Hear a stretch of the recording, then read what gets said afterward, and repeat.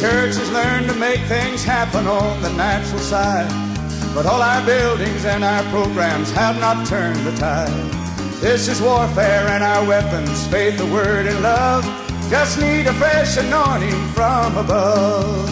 We need an old-fashioned, heaven-sent Holy Ghost revival touching me, touching you. We need a sin-erasing restoration, Holy Ghost revival, send it, Lord. Our souls renewed. Hello, everyone. This is Reverend Johnny Lee Clary, and welcome to Johnny Lee TV. Did you know that God will give back to you whatever the devil has stolen? Jesus himself said in John 10 10, The thief, that's Satan, comes to steal, kill, and to destroy. But I have come that you may have life and have it more abundantly. Now, you see, the thing about it is, is that the devil is described as the thief him and his emissaries, his little demons, whether they come in disguise of just, uh, you know, whether they just come as outright robbers and thieves, or whether they come disguised as a as a false prophet or a false teacher, trying to get you uh, from listening to the true message of God, which is Jesus Christ and the cross being preached, tries to get you off into all this motivational self-help stuff and all that. You know that that's not a God, folks. But the truth of the matter is, is that the devil is nothing more than a thief, and he comes to steal everything you've got. And, uh, and, but Jesus comes to give you life and to give it more abundantly. Now, as a believer, you can get back whatever is stolen from you. Now, a lot of people say, well, Jesus said, ask anything and it'll be given to you. No, they're not, they're not telling you the whole thing. Okay. Now, I want to tell you what the whole scripture says. And this is found in John 15, 7. I'm going to read to you from the Expositor Study Bible. Okay, now this is the Crossfire edition, and you can get these uh, the Crossfire edition or just the regular Expositor Study Bible uh, from uh, jsm.org. The best study Bible you'll ever read in your life, I guarantee you that. But uh, uh, anyway, chapter 15 of John, verse 7, Jesus said this. He said, If you abide in me, that's keeping your faith in Christ and the work he did on the cross. It's conditional if you abide in me and my words abide in you, you can ask. Now, listen to this. You shall ask what you will, and it shall be done unto you. That's conditional, folks. That is absolutely conditional. His words have to abide in you. Now, it doesn't matter how big or how small the item that, that it was that got stolen from you. You know what? he cares. He really does. And I'll tell you why, because First Peter 5 7 says, Cast your cares upon him, for he cares for you. It doesn't say only cast your big cares. It doesn't say only cast the little cares. It says cast your cares. So whatever you care about, he cares about because he's a loving God. He's full of grace and mercy, which endureth forever. And he cares about what you care about. He wants to see you happy, no matter what. So the truth of the matter is, is that whatever the devil has taken from you, you cast that care upon Jesus. He'll give it back. Now, some of you, I'm going to give you an example here, and some of you is going to think this is just downright silly. Personally, I don't care what you think, okay? If you think it's silly, that's just fine with me, whatever you want to think. Because you know what? People will get something out of this. I know that they will. And, and, and it's not silly to me. It really meant something.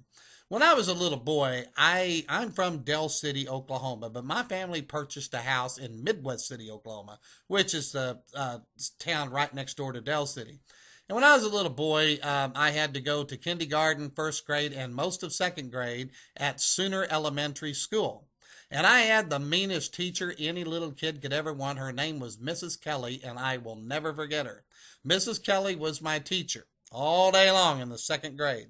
And that woman was, oh my gosh, she was so hateful toward me. And can you imagine being hateful toward a little seven year old kid? She just absolutely could not tolerate me and hated me. And she was constantly screaming at me and yelling at me and paddling me and everything else, you know. And uh, and she couldn't stand the sight of me. Well, I I was a big fan when I was a little boy of do you all remember those little clay figures called Gumby and Pokey? Gumby was the uh, was the green man, and Pokey was the orange horse. And uh, and they had a they was on TV, and and I was just I just loved Gumby and Pokey when I was a kid. And um, and my grandparents had taken me out one weekend shopping, and they bought me a little two little rubber uh, uh, figures of Gumby and Pokey, and I was so excited to have them, and I took them to school with me. And I was sitting at my desk, and I never will forget this girl either. Her name was Beth, and she sat at the desk next to me. And I was playing with my little Gumby and Pokey on my desk, and she says, Can I see those? And I said, Sure. And so I like to share, so I went ahead and decided to share my toys with her.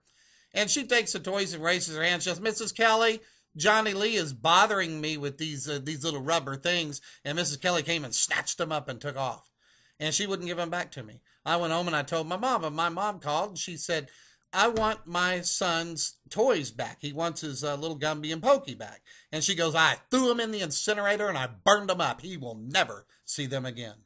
And my mom says his grandparents bought those for him, and uh, she goes, Well, I'll try to have them replaced. And she never did.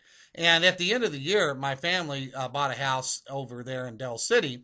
And so, uh, and this was about a month before the school year ended, and we had to move. So I got transferred over into East Oak uh, Terrace Elementary, where I went through elementary school. And uh, but the truth of the matter is, I, I, that woman hated me so bad, and she destroyed those little toys, and that really broke my heart because I love those toys. My grandparents would take the time to buy that for me, and I I said, well, I'll never see the Gumby and Pokey again. Well, all these years later, me and my wife, we went to Branson, Missouri, uh, just a couple of months ago, and we were shopping in a five and dime store. I haven't seen a five and five and dime store since I was a little kid. Uh, there used to be one called TG and Y in Del City, Oklahoma. I think that's the last one I ever saw. And they got this five and dime store in Branson, Missouri, downtown Branson, we're walking through that store, and my gosh, they had all kinds of things toys, lunch boxes, you name it, that goes all the way back to the 50s and 60s and 70s. You wouldn't believe the stuff they had in there. And right there staring at me, you know, I was thinking about Gumby and Pokey and thinking about what Miss Kelly did, and right there staring at me, I mean, my jaw dropped. And there it was. All them years had passed by, and right here, folks, was Gumby and Pokey. See that? All right, there's Gumby, there's Pokey. And I mean, right there, I still got it in the box. I haven't taken it out of the box yet. But this is an exact replica of what my grandparents bought me when I was a little boy. And God restored that to me. I know some of you thinking that's silly, but the truth of the matter is, you know, God cares about little things. And I got my Gumby and Pokey, okay? Now, you can get your Gumby and Pokey, or you can get whatever the devil has stolen from you. All you have to do is abide in God and let His word abide in you and cast your cares upon Him because He cares for you. He's going to restore. This is Reverend Johnny Lee Clary saying, God bless you, each and every one of you. An old fashioned heaven sent Holy Ghost revival touching me, touching, me, touching you. Touching you.